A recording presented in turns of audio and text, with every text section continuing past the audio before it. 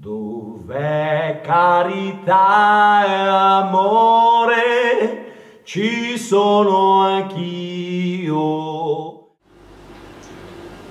In un paese della Galilea, duemila anni fa, alcuni bambini stanno giocando nella piazza del paese, come accade al giorno d'oggi a tante fanciulli che giocano sulle piazze dei nostri allegri paesi.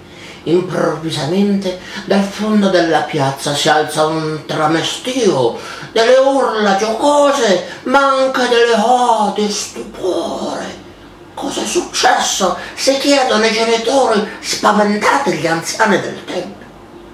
I bambini raccontano che là in fondo, vicino alla fontana, un bimbo dai capelli biondi e dagli occhi azzurri ha trasformato il fango in passeri che sono volati in cielo.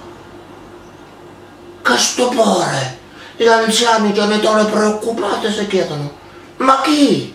Chi è questo bambino che ha fatto questo miracolo?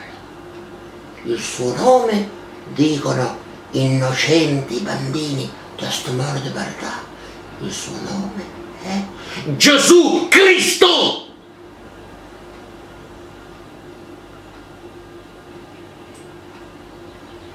Sempre sia lodato. Dov'è carità e amore, ci sono anch'io.